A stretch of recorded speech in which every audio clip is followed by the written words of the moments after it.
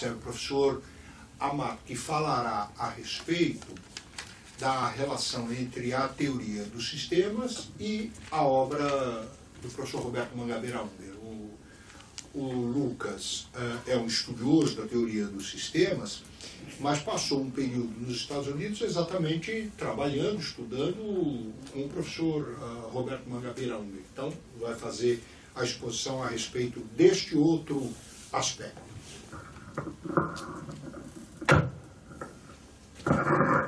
Bom, antes de entrar no meu tema, eu queria só falar duas coisinhas. A primeira é que a gente está é, tá programando organizar um livro, que vai ser um livro digital aberto, a partir das intervenções aqui nesse seminário. Então, todos os que vão falar aqui no seminário vão escrever algum capítulo e a gente também vai convidar alguns outros autores que não puderam vir aqui. É... E a outra observação é mais teórica, que tem a ver com o fato de que é, esse debate de teoria crítica dos sistemas talvez não pudesse ter sido proposto é, na própria época do, do, Luhmann, porque ele sempre foi muito é, foi um oponente da teoria crítica por identificá-la na pessoa do Habermas. Então, o Habermas e o Luhmann se cutucam é, mutuamente desde os anos 70 e o Luhmann até até o finalzinho dos anos 90, fazia é, críticas à teoria crítica, identificando com o Habermas. Mas é, o Habermas é um representante importante da teoria crítica, lá da escola de Frankfurt, mas por um lado não é o único. Ele teve os seus antecessores, como o Adorno, que vai ser objeto aí do, da palestra do professor Laurindo semana que vem, a relação, se é possível, uma comparação entre Luhmann e Adorno. E por, por outro lado, teoria crítica não é só o que foi feito na Alemanha, aí na, no Instituto de Pesquisa Social de Frankfurt. Então a gente pode considerar a teoria crítica, aliás, deve considerar o primeiro, é, um próprio Marx. Por isso a ideia de uma palestra aí semana que vem do professor Bachur comparando Luhmann e Marx. E na própria no, sociologia jurídica, te, houve movimentos de teoria crítica jurídica em vários países, no Brasil, na, na Espanha, na Itália, na França. Então, na França, um desses sociólogos do direito crítico é, importante foi o professor André Jean Arnaud, que também vai ser objeto aí da conferência do professor Orlando Vilas Boas, comparando o Arnaud e o Luhmann. Por isso, é, por isso que se encaixou aqui a minha intervenção, falando não de um é, teórico crítico, né, da teoria crítica alemã, mas do professor Roberto Mangabeira Unger, que foi um dos líderes na, no campo do direito do movimento de estudos críticos do direito é, lá nos Estados Unidos. Então a ideia é nem tanto o que Luhmann não houve um debate direto entre Luhmann e Mangabeira Unger, apesar deles serem contemporâneos. É, cada um leu livros de, do, um do outro. É, o Luhmann citou Mangabeira Unger algumas vezes, mas não teve nenhum debate muito relevante entre eles. Eles tiveram uma influência comum, porque o Luhmann foi estudar lá em Harvard com o Parsons, que era o principal sociólogo aí da metade do século passado. O Parsons até fez resenhas de livros do Mangabeira Unger, é, então eles têm esse ponto em comum na sociologia, mas não houve um debate direto. Então, minha intervenção é muito mais no sentido do que tomar de cada um desses autores para construir, talvez, primeiros passos de uma visão que nenhum dos dois endossaria totalmente, mas de uma visão é, que parte tanto da teoria dos sistemas quanto da, da visão aí da imaginação institucional, como diz o, o, o professor Unger. É, então, mobilizando aspectos desses dois autores para construir uma visão do direito, mas antes disso, da sociedade, porque os dois é, acabam colocando o direito justamente como um âmbito da sociedade. Portanto, a teoria do direito acaba sendo uma sociologia jurídica, um âmbito da, da, da sociologia geral. Eu vou falar em três partes. A primeira, justamente esse plano da teoria da sociedade em geral. A segunda, da teoria do direito ou sociologia do direito. E no finalzinho eu quero é, perguntar se é, esse debate aí imaginário entre os dois autores constitui uma teoria crítica dos sistemas, como é o título do nosso evento, ou é algo diferente é, e coloca problemas, na verdade, para esse projeto de uma teoria crítica dos sistemas. Então, partindo para o meu primeiro tópico, que é o plano da, da sociologia geral, ou da teoria da sociedade. É, então, se a gente pegar assim, os conceitos-chave do Luhmann e do Mangabeira Unger, para o Mangabeira Unger, a principal obra dele de sociologia é, é uma trilogia, é, que tem o título de Política. E ele realça lá um dos slogans do movimento de, do Critical Legal Studies era de que tudo é política. É, o que, que a gente pode aceitar dessa ideia de que tudo é política a partir do embate com a teoria do Luhmann? Bom, a gente não pode aceitar que tudo é o sistema político e que a, que a política domine todos os outros sistemas, ou mais, que, um, que o Estado determine é, todos os demais sistemas, o direito, a economia, a ciência e tudo mais. Mas dessa ideia de que tudo é política, na verdade, a gente pode considerar é, de que tudo é uma, uma construção de sentido dos sistemas sociais, que é, não é uma construção de sentido determinada por algum fator externo aos sistemas sociais, é, que o Luhmann chama do ambiente social. É, mas no próprio conceito de diferenciação funcional, na sua teoria da evolução, o Luhmann acaba incorporando traços aí que parece, parece que haveria uma necessidade histórica, alguma, alguma força natural é, presidiria a evolução dessas formas de diferenciação social. Então essa é a parte da diferenciação funcional que a gente deveria rejeitar, segundo o argumento, e aceitar, sim, que a diferenciação funcional é até uma forma de diferenciação prevalente na sociedade moderna, mas que é uma forma é, não totalmente contingente, como disse o, o, professor Roberto Dutra, porque a gente, na verdade, não vislumbra um futuro é, além da diferenciação funcional, mas ela, na verdade, é um conjunto de arranjos de, é, institucionais que, que, enfim, que é contingente e que não, não exclui as formas de diferenciação, digamos assim, secundárias mesmo que exista o primado da diferenciação funcional, continuam a existir outras diferenças, sei lá, diferenças de classes, de centro-periferia, de regiões. Então eu vou é, adotar aqui um expediente que é o seguinte, aplicar ao Luhmann a crítica que o Mangabeira Unger dirigiu ao Marx. Porque o próprio é, João Paulo Bachur tem a, a tese dele, que é que o conceito de diferenciação funcional é homólogo ao conceito de capitalismo.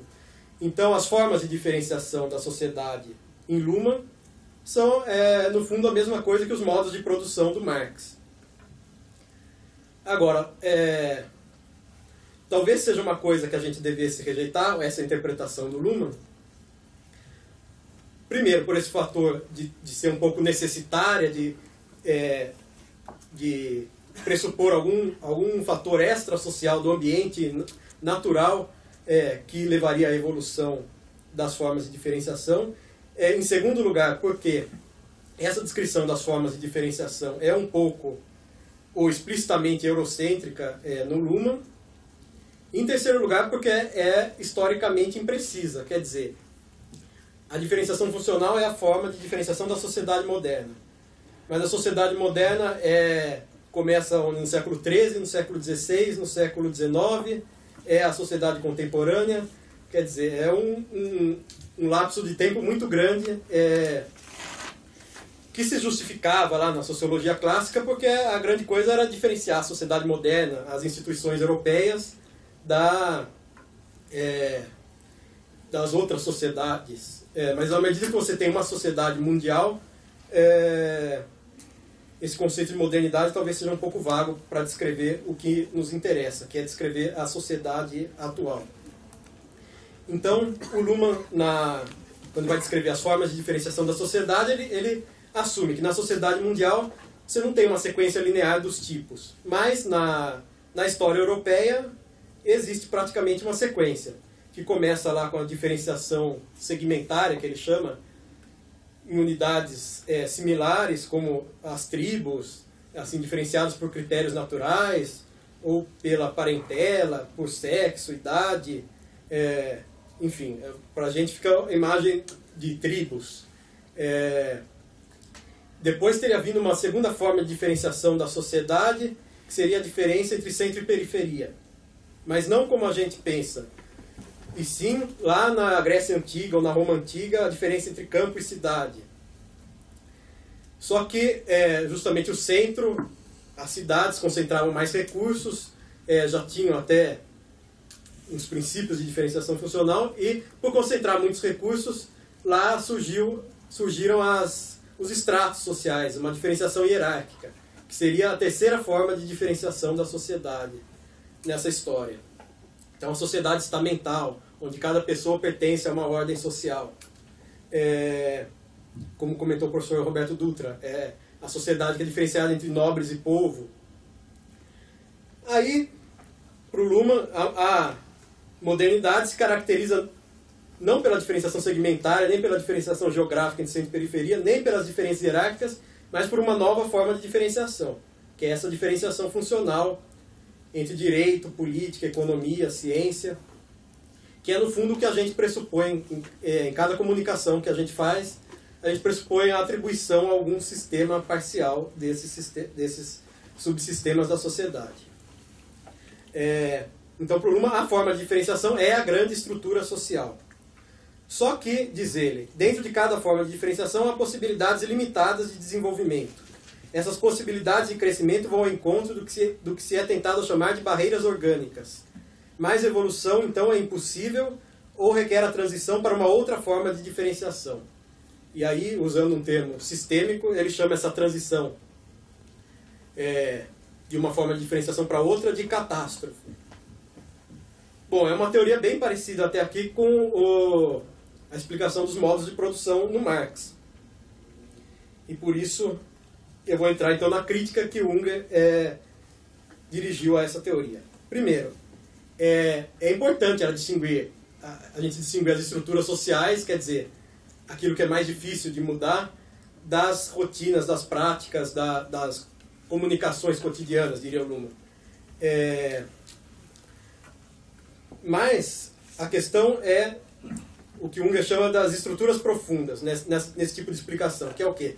Não considerar a diferenciação funcional como uma simples distinção é, presente na sociedade, até prevalente, mas como um tipo geral é, de sociedade como capitalismo ou socialismo ou feudalismo, né, historicamente. Então, o Luma, em vez de feudalismo e capitalismo, tem a diferenciação hierárquica e a diferenciação funcional. Aí é um tipo geral de sociedade que se reproduz em diferentes épocas, em diferentes lugares, sendo esse mesmo tipo. É, existe uma lista fechada dos tipos de sociedade. Na, na lista do Luhmann, a gente tem quatro modos de diferenciação social. E esses modos são meio indivisíveis. As, as instituições que compõem é, uma sociedade funcionalmente diferenciada vão ser é, um, um, certo conjunto de instituições aqui ou, ou na China. É, até porque é uma só sociedade mundial, é, essa sociedade moderna. E o outro passo dessa explicação é, então, que o Luhmann, o Luhmann chamou de barreiras orgânicas, que é algo, quer dizer, a, a evolução da complexidade social vai até um certo limite natural e a partir daquilo a sociedade tem que mudar para uma outra forma de diferenciação. É... Bom, isso para o Marx tinha a ver com as forças de produção, que as relações de produção se dão dentro de um certo modo de produção, mas aí as forças de produção, as forças de produção progridem de certa forma que esse modo de produção tem, é, acaba sendo substituído por um novo modo de produção que na verdade é um progresso das forças de produção. Para o Luma é um, é um progresso, uma evolução da, do grau de complexidade da sociedade, quer dizer, é, do grau em que a sociedade é capaz de é, sustentar comunicações divergentes, diversas, é, diferenciadas. Então, o Luhmann disse, mas de que outra forma a gente poderia explicar é, a história, a evolução social se não partindo dessa teoria do, do, das formas de diferenciação. E o interessante é que um historiador marxista é, fez uma resenha de um livro do Unger e falou, ele, é, ele propõe um conceito que talvez fosse essa alternativa aos modos de produção e, portanto, às formas de diferenciação aí no, no Luhmann, que é a ideia de um contexto formador. Quer dizer,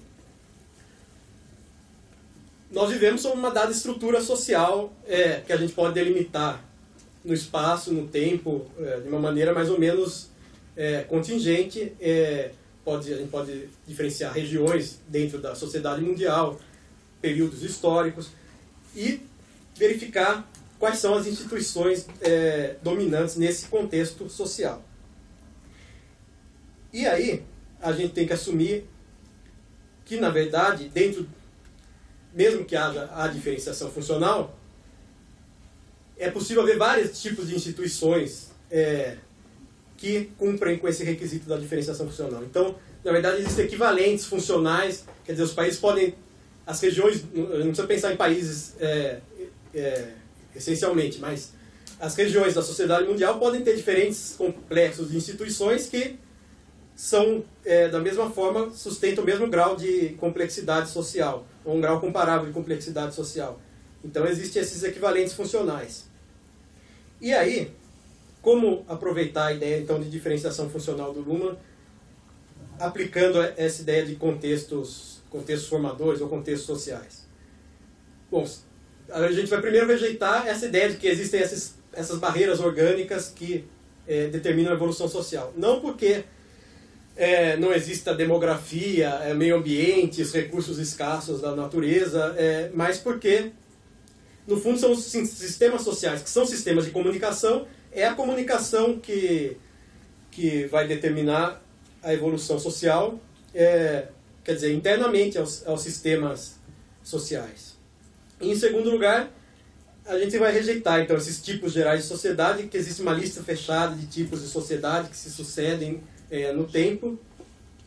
E, em terceiro lugar, então, eu proponho rejeitar essa ideia da pureza, de que na sociedade moderna só existe diferenciação funcional.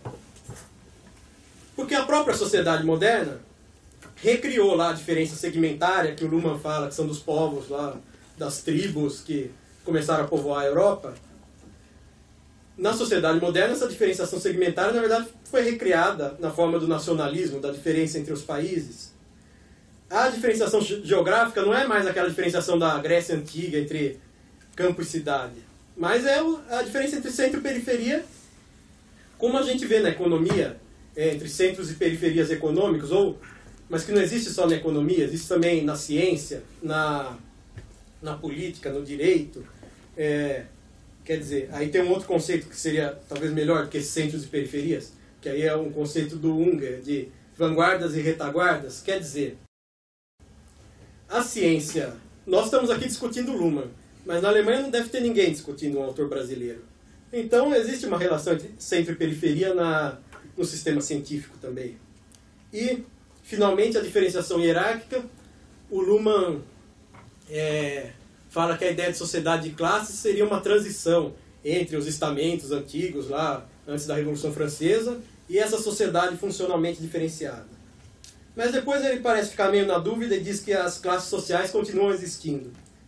Então, as classes sociais também são uma coisa moderna, não são o estamento antigo, mas também são uma certa diferença hierárquica. E, mais ainda, além dessa, dessa entre sistemas funcionais, existem os outros tipos de sistemas, que são as organizações, a universidade, a, a escola, a empresa, que hierarquizam as pessoas também dentro da organização e, e incluem essas pessoas como membros ou excluem é, da mesma forma.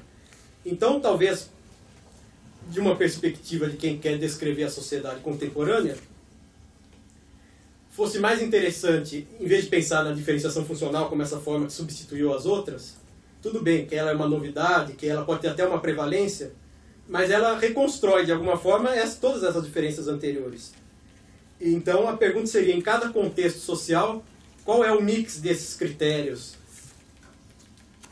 segmentários, geográficos, hierárquicos e funcionais, até dos papéis funcionais que que existe em cada contexto social que a gente possa delimitar. É... Então, quer dizer, existe o papel que é relativamente igualitário, assim, professor e aluno, o consumidor e o, e o produtor, Mas com isso não deixam de existir as classes sociais, nem as diferenças entre centro e periferia, e nem as diferenças nacionais, por exemplo. Agora, tudo bem, os sistemas têm esse sincretismo desses, de, é, mesmo a sociedade moderna tem esse sincretismo desses critérios de diferenciação. Mas a diferenciação funcional realmente existe. Quer dizer, aí é realmente importante, ou talvez prevalente, essa diferença. Hein? Quando a gente faz uma comunicação, ver se aquilo é uma coisa jurídica, é um tema econômico, é um tema político. Então, uma vantagem da teoria dos sistemas é não simplesmente dizer que há essa diferenciação entre os sistemas, mas passar para uma outra escala, uma escala ampliada de cada sistema funcional em si. E aí, é, claro, para o nosso debate, a questão mais interessante é passar para um exemplo específico de um sistema funcional, que é o direito. E eu quis recuperar um conceito que o Luhmann usou é, uns 30 anos antes da, de terminar sua obra, que, ele, que era o conceito de instituições. Depois ele abandonou um pouco mas ele conceituava instituições como as estruturas internas dos sistemas sociais. E como o direito, então, lida com essas instituições? Aí eu vou para a minha segunda parte, aí, saindo da sociologia geral e entrando na, mais na teoria do direito. Todos os sistemas funcionais têm certas, certas estruturas comparáveis, certas instituições, é, diz o Luhmann. Então eu vou é, destacar três pares aí, três diferenças que o Luhmann usa para descrever essas estruturas internas do sistema. Primeira diferença entre a esfera pública e a esfera organizada dos sistemas. Então, todo sistema tem suas organizações. O sistema político, o Estado, os partidos políticos, os movimentos sociais. O direito tem os tribunais, a, a advocacia, a, a economia tem os bancos, as empresas. Mas, além dessa esfera organizada, tem o que o Luhmann chamou de uma esfera pública, que não é uma só esfera pública para toda a sociedade, mas é uma esfera pública para cada sistema parcial. Então, para o mercado, ele diz que essa esfera pública é, aliás, para a economia, ele diz que é o mercado. Porque no mercado, todas as demandas políticas, é, educacionais, jurídicas, vão ser traduzidas para o sistema econômico como uma questão de preços, é, de pagamentos. Então, o mercado é esse ambiente que ambiente interno porque ele, ele pega as irritações do ambiente externo e transforma numa comunicação interna do sistema econômico. Da mesma forma, a política teria uma esfera pública que é a opinião pública. Porque tudo que a gente falar sobre política vai ser decodificado como uma, como uma crítica, uma, uma demanda nos termos desse ambiente da opinião pública. E no direito, o Luma não diz qual é esse ambiente interno, mas eu propus, seguindo o professor Campilongo, embora não sei se ele vai aceitar isso, é, a ideia de personalidade jurídica, por exemplo. Porque tudo o que a gente vai tratar no direito, a gente vai traduzir como uma questão de direitos, de deveres, de é, responsabilidade, referida a um sujeito de direito individual ou coletivo, mas aí é uma construção do sistema. Então, o ambiente do sistema jurídico seria essa ideia de personalidade jurídica. Bom, mas se a gente tem essa esfera pública e a esfera organizada, dentro da própria esfera organizada tem uma diferença entre as organizações. Porque, por exemplo, no funcionamento da política, a gente não pode substituir o Estado por um partido político. Quer dizer, até pode, mas aí já não, já não sei se é diferenciação funcional também. É, quando existe um partido único que é o Estado. No, quando existe uma opinião pública, um sistema democrático, você tem o Estado, que é a organização central, mas você tem as organizações da periferia do sistema político, que são os partidos, movimentos sociais, como eu comentei. E assim para todos os outros sistemas. Então, o que diferencia o centro e periferia dentro dos sistemas não é nenhuma hierarquia, é simplesmente o fato de que as organizações centrais tomam decisões que gerenciam assim, o paradoxo do sistema. Então, o Estado, ao mesmo tempo que ele cria o direito, ele está vinculado àquele direito. Então, ele tem a sober... é o paradoxo da soberania ele se submete ao próprio direito que ele cria, sendo é, a instituição que submete a todos. O direito é obrigado a, a tomar decisões, um juiz, um tribunal é obrigado a tomar decisões é, de qualquer caso que chegue até ele, a proibição da denegação de justiça. E o mercado, é, o Luma diz que a instituição, a organização central são os bancos, porque os bancos têm que incitar as pessoas a pouparem e a investirem e a consumirem tudo ao mesmo tempo e ainda tirar lucro é, desses movimentos. Já a periferia são as organizações que tomam decisões dentro do sistema, mas que têm um contato muito mais próximo com o ambiente. Então, os partidos políticos é, podem colocar nos seus programas, nos seus planos de governo, é, o que eles quiserem, todas as demandas sociais, mas na, em que medida isso vai chegar ao centro do sistema político, que é o Estado, em que medida isso vai virar uma lei, é, existe uma filtragem muito maior. Da mesma forma, as empresas todas é, vão produzir é, seus bens e serviços de acordo com as demandas do ambiente. Mas os bancos têm que gerenciar a própria demanda por dinheiro é, dentro da economia. É, e da mesma forma, os tribunais, é, quer dizer, você pode fazer um contrato é, sobre qualquer objeto. Mas aí vai chegar no tribunal, o tribunal vai decidir se aquele objeto é, lícito, é juridicamente possível. Quer dizer, o tribunal é a organização central do direito porque ele faz um pouco essa filtragem das decisões jurídicas. Então, eu falei dessa diferença entre esfera pública e esfera organizada, entre é, centro e periferia da esfera organizada, mas existe uma ligação entre, entre essas três coisas, as organizações periféricas, centrais e a esfera pública. Se a gente pensar no voto, nos procedimentos eleitorais, até em plebiscitos, em procedimentos semelhantes. Você tem a opinião pública, que se vincula aos partidos e, por sua vez, toma uma decisão sobre o Estado. Então, por isso que é, seria uma justificativa para a gente só eleger pessoas vinculadas a partidos. O partido faz uma certa seleção na periferia do direito, a opinião pública vai ter que passar por essa periferia para chegar ao centro de poder. Ah, da mesma forma no direito ação judicial, ela liga essa a personalidade jurídica aos tribunais passando pela advocacia. É, então são mecanismos assim que fazem uma certa triangulação entre a, esfera pública, o mercado, a personalidade jurídica, a opinião pública, as organizações periféricas do sistema, que são essas que têm mais contato com o ambiente, e as organizações centrais, que tomam essas decisões mais, é, mais difíceis para o sistema.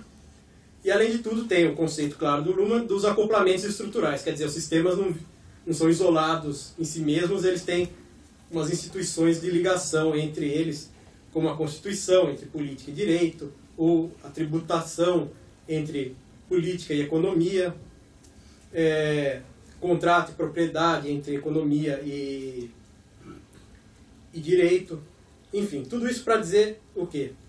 Que esses, essa descrição do Luhmann que não fica simplesmente dizendo direito, economia, política, cada um, cada sistema um, um do lado do outro, mas que entra nas instituições, nas estruturas internas de cada sistema, é uma boa descrição, é um bom mapa das instituições de cada sistema, que, no nosso caso, do direito, que são em alguma medida regradas pelo direito. Quer dizer, o direito econômico trata um pouco desse mapa das instituições internas da economia. O direito constitucional trata das instituições internas da política o direito processual é o que mais trata das instituições internas do próprio direito.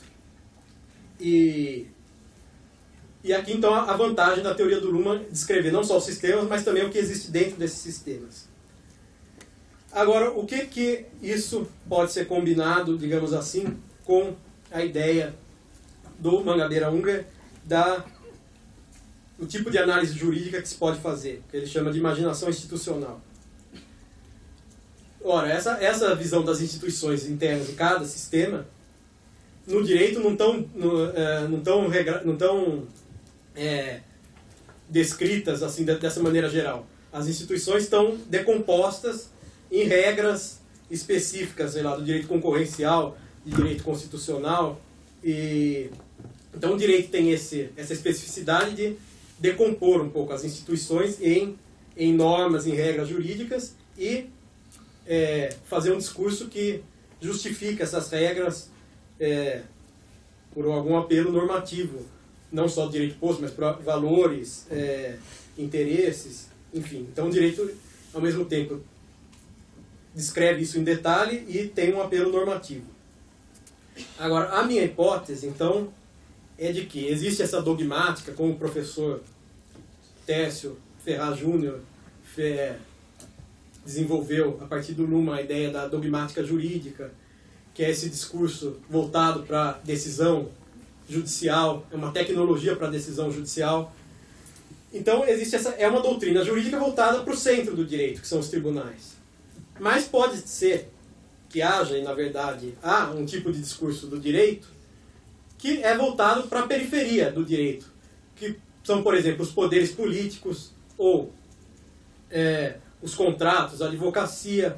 Então, é, não é um, uma doutrina jurídica voltada para interpretar o direito posto e decidir a partir dele. É pode ser voltada para inovar o direito, sei lá, para propor algum é, para disciplinar algum procedimento arbitral, para desenhar um, um contrato, para é, propor uma reforma, um projeto de lei. Então existe essa doutrina central, que é a dogmática jurídica, porque é parte do direito posto, mas pode ser que exista também essa doutrina é, periférica, essa antidogmática nesse sentido, porque ela não, não parte simplesmente do direito posto, ela pode se propor a reformar esse direito posto. É, e, enfim, quando o juiz vai decidir um caso segundo a dogmática, segundo o direito posto, ele pode ser que ele não consiga decidir esse caso, e aí Dworkin diria que é, é, é um caso difícil, porque não só as regras conseguem dar conta daquele caso, mas a gente pode pensar de uma outra forma. Na verdade, ele não consegue decidir esse caso porque o próprio sistema jurídico, o centro do sistema jurídico, não tem é, capacidade para processar esse tipo de demanda. Porque o direito precisaria se reformar. E a reforma do direito não é o próprio direito que faz, o centro do direito, é a política. Então, a reforma do direito é externalizada para o sistema político, que, que na verdade está na periferia do direito por meio dos seus poderes, do legislativo, por exemplo, está na periferia do direito. Então, quando você vai propor uma reforma de lei, por exemplo, você está fazendo uma certa doutrina que é essa doutrina periférica para a inovação jurídica. É... Isso dá um certo sentido, então, a gente partir desse mapa das instituições que o Luhmann detalha, dá alguns conceitos que talvez sejam interessantes para detalhar como se estrutura cada sistema. No direito, a gente pega é, isso e pode ver em detalhe em algum campo específico do direito as regras, as justificações, e o direito seria, segundo pensa aí o Unger, um repertório, inclusive o direito comparado, um repertório das formas de organizar a economia, a política, e, e esse seria, então, um lugar para o discurso jurídico. Usar o conhecimento sociológico das instituições mas ao mesmo tempo usar a especificidade do direito, que é pensar mais em detalhes e em justificações normativas. Quando o Unger vai teorizar lá a análise jurídica como imaginação institucional, então ele coloca dois momentos, mapeamento e a crítica. Mapeamento é você pesquisar no direito, lá, principalmente direito comparado, penso eu, é, como o direito americano é, estrutura a concorrência, como o direito chinês, será que tem regras de direito da concorrência ou estrutura o seu sistema econômico de uma outra forma? Você vai mapear no direito. Mas eu estou dizendo, além desse mapeamento do direito comparado, a gente pode tomar essas formas institucionais aí que o Luma descreveu, centro, periferia e tudo mais, para pensar em alternativas jurídicas. E um segundo momento desse mapeamento seria o que tem mais a ver aí com o nosso seminário, a crítica. Até Unger disse que seria um momento de crítica imanente. Por quê? Você pega as instituições jurídicas e vai criticar a partir das justificações que são explícitas ou implícitas dessas próprias instituições. Então, é, seria um campo importante até para sociologia jurídica, e que, na verdade, é feito pela sociologia jurídica. Você pegar é, um direito, determinado campo do direito e criticá-lo à luz dos seus próprios objetivos é, pressupostos. Disso, é, as duas questões que decorrem é a seguinte. Essa ideia muito propositiva é, de uma sociologia do direito, de uma teoria do direito, é rejeitada pelo Luhmann, ou pelo menos não é, não é o que o Luhmann pretendia fazer com a sua teoria do direito. É, porque o Luhmann pretendia fazer uma sociologia do direito, para ele estar tá no sistema científico e é uma observação externa daquilo que ocorre no direito. Então ele vai observar tanto o funcionamento do direito dos tribunais, como a própria doutrina jurídica e vai simples, simplesmente descrever como essas coisas funcionam. Já o Unger, é, um pouco na tradição, acho, da teoria do direito americana, não distingue muito esse, o campo dado de uma teoria geral do direito ou de uma visão externa ao direito da visão mais dogmática ou doutrinária. É, existe uma diferença, pode ser de abstração entre as duas coisas, mas é, a, a teoria do direito, no fundo, vai tratar de algum tema substantivo da política, da economia, é, não vai ser simplesmente uma descrição externa. Então, para a gente usar é, essa proposta de imaginação institucional, de ver as instituições de, de, de cada sistema mapeadas pelo direito propor alguma reforma, é, a gente não estaria fazendo sociologia do direito no sentido mais estrito do que Luhmann propunha. Seria mais uma, uma espécie de dogmática dentro do sistema jurídico, uma autodescrição do sistema jurídico. E o segundo ponto é, é o seguinte, conecta com aquela questão da sociologia geral. Como a gente vai usar o direito para mapear as estruturas sociais, se, por exemplo, o direito lá da, da sociedade estamental colocava as diferenças das ordens sociais. Então, a Magna Carta lá do século XIII é, tinha os privilégios dos barões feudais e aquilo estava explícito no direito. Agora, hoje em dia, você não tem um direito que, que explicite quais são as classes sociais da, da, da sociedade mundial ou da sociedade brasileira. Você tem um direito que explicita uma coisa só, que é a diferenciação funcional. É o direito que diferencia da política, da economia. É, mas se, como eu disse, aquelas diferenças anteriores não são simplesmente anteriores, continuam a se reproduzir hoje, a pergunta é em que medida a diferenciação funcional recria essas diferenças anteriores. Então, isso vai gerar o quê? Uma sociologia do direito que é crítica nesse sentido de ver aquilo que o direito abstrai, se o direito abstrai as diferenças de centro e periferia, de classe, é, nacionais, etc., é, em que medida essas diferenças continuam existindo, como é que o direito reconstrói essas diferenças ao mesmo tempo que abstrai a existência delas. E é isso que vai ser, na verdade, o, o tema da, da sociologia jurídica, quando você vai criticar a ineficácia do direito, ou ver as condições da fruição efetiva dos direitos, porque que os direitos... Não é simplesmente uma questão da validade da norma jurídica e da eficácia da norma. É uma questão dos arranjos institucionais que são, na verdade, conglomerados, é, é, é, agregados de normas jurídicas. E você vai ver, é melhor analisar como cada sistema se organiza nesse plano institucional e aí ver os detalhamentos jurídicos do que simplesmente pensar que uma lei vai ter eficácia, uma norma jurídica no plano individual, é, como uma unidade de análise. É, então essa ligação entre a norma jurídica, que por uma seriam as expectativas da estrutura social mais, mais básica, a gente podia ligar não com o contexto social, que é essa macroestrutura social, mas nesse plano intermediário das instituições que o Luhmann descreve por todas essas diferenças que eu falei, das organizações internas do sistema, dos acoplamentos estruturais, etc. Para terminar, é, esse, o que eu falei anteriormente era o meu objeto principal. O que eu vou falar agora foi uma provocação para esse evento. Então, da teoria crítica dos sistemas. O que eu falei leva a uma teoria crítica dos sistemas? Bom, não tenho uma resposta pronta para isso, mas é, tem alguns problemas que surgem dessa análise. Primeiro, é, se a crítica jurídica é só descrever os problemas dos sistemas funcionais, as ineficácias, as distorções, é, as ideologias, é, parece ser um exercício meio insuficiente porque a gente não tem mais um pressuposto, como talvez tivessem os teóricos críticos, de qual é a forma social, então, à luz da qual a gente vai poder criticar o que existe hoje em dia. A gente vai ter que, propor, vai ter que criticar ao mesmo tempo propondo a alternativa.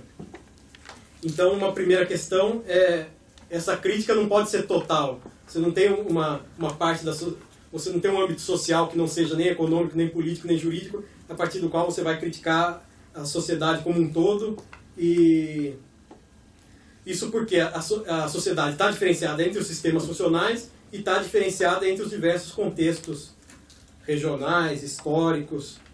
Enfim, não, não dá mais para fazer essa crítica total, nem essa crítica que pressuponha alguma, alguma forma normativa que seria o ideal a partir da qual a gente critica o que existe hoje em dia. Mas os teóricos críticos do sistema, que na verdade é um rótulo que caberia bem ao, ao Toynbee, né, que foi o, aí um sucessor do Luhmann na, no plano de direito, o Torbner gosta muito de, de é, colocar um sistema em conflito com o outro, principalmente falar da alienação da, do direito pela economia, da mercantilização, da juridificação, da cientifiza, é, enfim, teria algum sistema que seria dominante sobre todos os demais. Agora, esse raciocínio é um pouco problemático porque coloca os sistemas assim como coisas opacas, um contra o outro, em conflito, e não fala o que tem dentro dos sistemas, quais são as estruturas internas. Enfim, é, parece que está. É, quando se critica a economia, o que, que a gente vai fazer? É, jogar fora a economia? Não existe mais economia? Ou, ou a gente tem que mudar as instituições da economia e para isso tem que entrar dentro do sistema econômico para analisar? O segundo ponto é, como eu falei, é, é, não existe essa visão total de qual seria a sociedade ideal a partir da qual a gente vai criticar a, as formas institucionais existentes. Então, no máximo que você vai fazer é conseguir criticar um certo ramo da sociedade, do direito, e ver as alternativas é, de organização desse ramo. E, finalmente, existe aí uma tendência da teoria crítica que é, é a primeira tendência era pressupor que a economia um pouco determinava os outros âmbitos. Agora existe uma tendência mais culturalista, assim, que é tudo são discursos e representações e, e o direito é fica nesse plano etéreo, semântico. É, mas na verdade o direito é uma estrutura social, é um subsistema que é, que tem suas estruturas e que funciona é, para organizar a sociedade, não é simples, simplesmente um discurso. Então, eu acho que uma crítica ou uma análise do direito devia fazer é não só como ela não pode fazer mais essa crítica total, ela vai ter que fazer uma crítica fragmentária e ao mesmo tempo ter algum sentido construtivo de propor o que que pode ser mudado, como pode ser mudado, e isso vai ter que ser tem que ser feito no âmbito de pesquisas parciais da relação do direito com a política, com a economia, enfim, de um âmbito mais reduzido da sociedade que não é o âmbito da sociedade que não seja diferenciado em algum sistema parcial.